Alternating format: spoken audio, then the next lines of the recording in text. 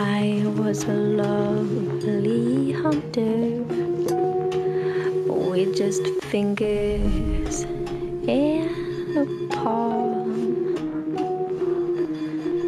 I'd hunt the dust through a gentle breeze and grab it between point and thumb.